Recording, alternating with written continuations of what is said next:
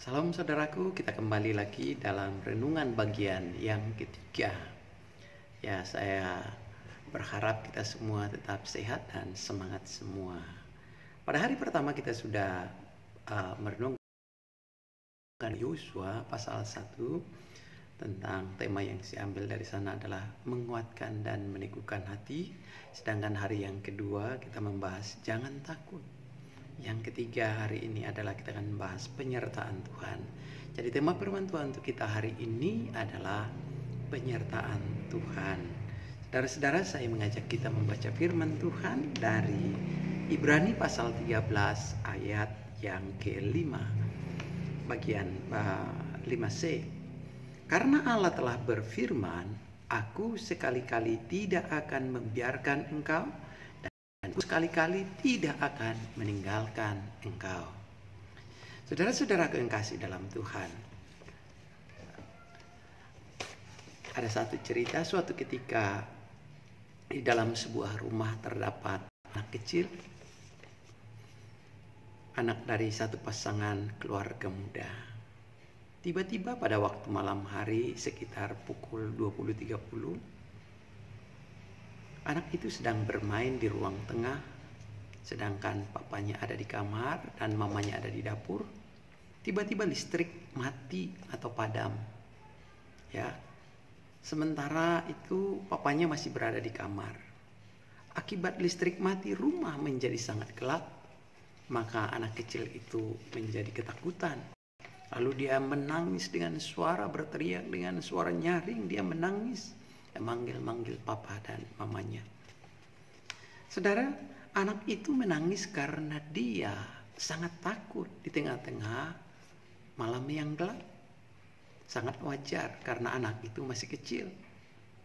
Namun ketika tangan papanya memegang tangan anak kecil itu, akhirnya anak itu menjadi tenang. Dia berhenti menangis.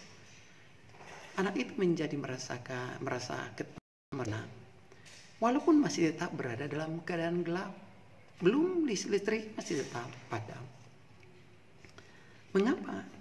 Karena tangan papanya yang kekar memegang tangannya yang kecil Ketika tangan papanya memegang tangannya, membuat hatinya menjadi tenang, dia tahu kalau dia bersama dengan papanya, dia akan aman, dia menjadi tenang, hatinya menjadi tenang.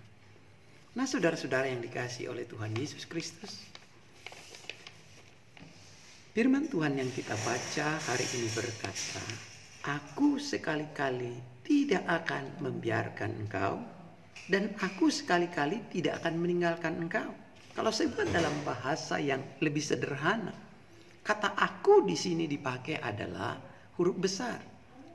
Kalau dalam bahasa sederhana saya bacakan untuk saudara, ayat ini mau berkata adalah Yesus sekali-kali tidak akan meninggalkan engkau dan Yesus sekali-kali tidak akan membiarkan engkau. Saudara-saudara yang kasih oleh Tuhan, Yesus berjanji akan menyertai saudara-saudari. Yesus berjanji tidak akan membiarkan Anda seorang diri. Yesus berjanji tidak akan meninggalkan engkau dalam menjalani perjalanan kehidupanmu. Secara khusus tentunya di dalam memasuki pendidikan saudara, secara khusus bagi saudara mungkin yang datang dari berbagai kota di luar dari luar kota, bahkan yang dari luar pulau dari daerah, ada Yesus yang menyertai Anda. Walaupun tidak bersama dengan keluarga, tidak ada lagi orang yang dekat secara khusus. Namun ada Tuhan yang jauh lebih besar, yang jauh lebih mampu menolong saudara menjadi tumpuan harapan kita. Wah, berita ini menjadi berita sukacita bagi kita. Jadi apa pun yang terjadi, kapan pun, di mana pun, ada Tuhan Yesus yang menyertai Anda. Oleh karena itu, kita bisa menjadi tenang, hati kita bisa menjadi damai. Jika ada Tuhan Yesus, Dia adalah Allah yang Maha Kuasa. Dia adalah Allah yang berkuasa atas segala sesuatu bersama-sama dengan kita. Dia sanggup menolong kita. Dia sanggup melindungi kita dan dia sanggup menyediakan segala sesuatu dalam kehidupan kita. Bukankah dia Tuhan? Bukankah dia Allah? Allah yang berfirman jadilah sehingga segala satunya boleh jadi. Allah yang mampu membangkitkan orang mati, Allah yang mampu menyembuhkan orang sakit, bahkan Allah yang sanggup kita melihat mengadakan mujizat dua roti, eh, lima roti dua ikan, dia berikan memberi makan lima ribu orang. Allah itu bukan Allah yang mati sekali lagi. Allah kita, Allah di dalam Yesus itu adalah Allah yang hidup bukan Allah yang mati. Dan dia tetap berkuasa baik dahulu, sekarang, bahkan sampai selama-lamanya. Kuasanya tetap sama dan tidak pernah berubah. Kasihnya tetap sama. Anugerahnya tetap sama. Perhatiannya juga tetap sama bagi kita. Untuk itu saudara-saudaraku yang dikasih oleh Tuhan.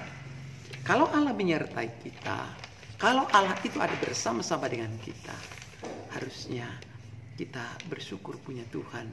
Bukan Tuhan yang mati, tapi Tuhan yang hidup, Tuhan yang peduli dengan hidup kita, dan Allah yang mau menyertai kita. Untuk itu, apa yang harus kita lakukan? Carilah Tuhan. Binalah hubungan yang baik dengan Tuhan Yesus. Bina persekutuan secara pribadi dengan Tuhan Yesus ambil persekutuan pribadi setiap hari. Minta Tuhan menolong saudara. Kan apa yang Tuhan katakan, baca firman Tuhan. Kekristenan itu adalah hubungan. Kekristenan itu sekali lagi adalah hubungan bukan agama. Hubungan pribadi kita dengan Allah. Kekristenan ada hubungan pribadi saudara dengan Tuhan kita Yesus. Bagaimana kita membangun hubungan harus ada komunikasi. Allah berbicara kepada kita lewat Alkitab.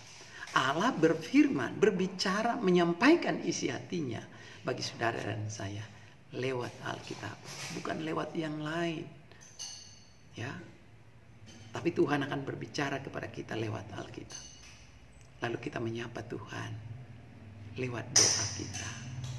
Kita berbicara kepada Tuhan, menyampaikan isi hati kita, menyampaikan penyembahan kita, menyampaikan pujian kita, memohon pertolongan Tuhan, memohon anugerah Tuhan. Lewat apa? Doa. Karena itu saudaraku sekali lagi, cari Tuhan. Jangan jadikan Yesus menjadi ban serap. Ya. Anda tahu ban serap di mobil? Ya. Kalau mobil itu selalu ada ban serap Ban serap itu hanya kenapa jangan dijadikan ban serap? Karena ban serap itu hanya diperlukan dalam keadaan emergensi, dalam keadaan terpaksa, dalam situasi darurat. Kalau tidak, tidak akan dipergunakan ban serap. Kalau sudah kempes kena paku yang lain, bannya salah satu bannya baru diturunkan ban serap, baru dicari ban serap. Ya. Maksud saya, carilah Tuhan. Ya. Jangan kita mencari Tuhan hanya dalam kondisi, hanya dalam situasi yang sulit. Jangan cari baru cari Tuhan kalau keadaannya sudah susah, kalau situasinya sudah darurat, tidak ada jalan lagi, baru cari Tuhan. Itu salah. Ya. Harusnya Selalu kita mencari Tuhan. Jangan terjadi dulu masalah baru cari Tuhan. Saudara-saudaraku, oleh karena itu, mari ingatlah Tuhan Yesus menyertai saudara di dalam memasuki perjalanan studi Anda di Politeknik Negeri Jakarta ini. Oleh karena itu sekali lagi, cari Tuhan. Dia dapat diandalkan dan dia dapat menolong saudara. Dia peduli dengan kehidupan dia kita dan dia sanggup menolong, melindungi, memberikan eh, memberikan jalan keluar bagi saudara. Oleh karena itu, sekali lagi Tuhan Yesus menyertai saudara. Selamat memasuki studi Anda dan Anda tidak sendirian karena ada Tuhan Yesus yang menyertai saudara. Terima kasih Tuhan Yesus memberkati. Mari kita berdoa. Bapa di sorga, terima kasih kami bersyukur kepada Tuhan karena kami punya Tuhan yang hidup, kami punya Tuhan yang maha kuasa, kami punya Tuhan yang sanggup mengadakan segala sesuatu yang tidak ada.